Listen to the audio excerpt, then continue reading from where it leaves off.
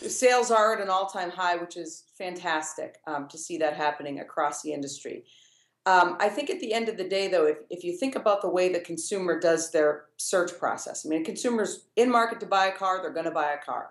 They're typically going on to Google to do that research. I think it's about 75% of consumers are going online and they're researching sites like Google to determine which dealerships they're going to visit.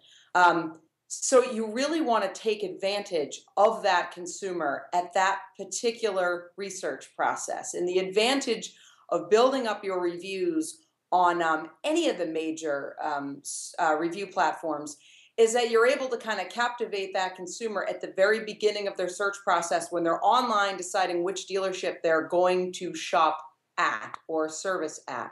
Um, so there's really no time to let off the gas when it comes to reviews because it's only going to become again more competitive. Um, and the more consumers and market consumers you have out there in the industry, the more opportunity you have to get in front of them uh, with your online reviews, especially if you have a dominating presence on page one of Google.